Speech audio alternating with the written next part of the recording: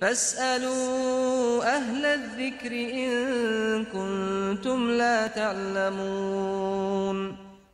Muulizaji anasema je, mtu anayeosha maiti ni lazima aoge kabla kufanya ibada yoyote? Kwani tunasikia kwamba maiti ni najis. Jawabu, maiti ya mumin haiwi najis Mtume wa Allah, rehma za Allah na amani zimshukia, amesema almuminu la yanjusu mumin hawi najis imepokewa na mashekhe wawili al-Bukhari na Muslim na wengineo na katika baadhi ya riwaya zake almuminu la yanjusu hayyan wala mayita mumin hawi najisi akiwa hai wala akiwa maiti ama riwaya. Man ghassala mayitan falyaghtasil iliyopokewa kutoka kwa abu huraira na baadhi ya masahaba wengine wengi katika maulama wanasema haikuthibiti na maana yake mwenye kuosha maiti basi akaoge.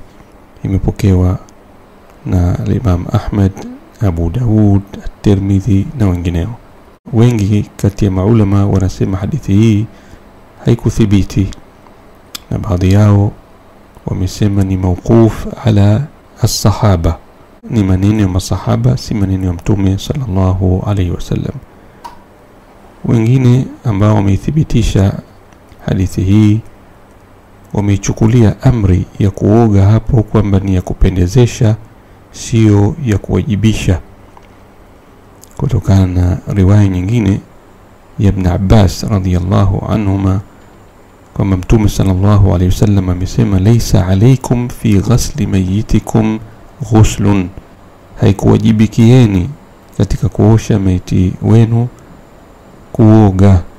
Ingawa hii pia kuna wenye ilmu waliosema kwamba sahihi ni maneno ya Ibn Abbas lakini sio maneno ya mtume sallallahu alaihi wasallam.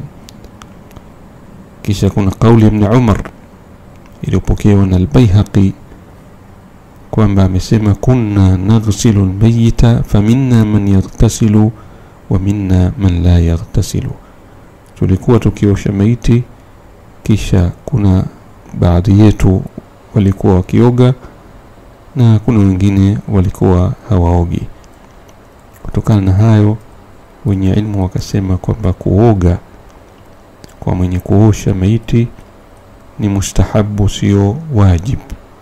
Lakini kuna wanaowajibisha kutawadha. Mtu ambaye ameosha maiti anatakiwa akatawadhi. Kama ana udhu udhu wake unakuwa umetenguka.